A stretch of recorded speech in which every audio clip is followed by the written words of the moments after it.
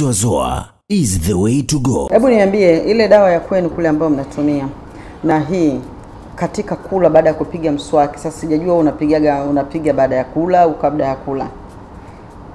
Mimi napiga baada ya kula. Baada ya kula. Okay, na, na unaisikiaje mdomoni baada ya, kushi, ya kupiga kati ya hile na hii? Kuna tofauti gani hapa ambao unaiona? Hiyo naona inakuwa different, ni ayumi pale pale dawa kama wananunua eh, ba, unaweka bado kukula ile, baadaye kukula inakuwa inauma kidogo eh, Ile ya ina, kwenu. eh, ya sisi pale mm -hmm. ina, inakuwa inauma kidogo Mm.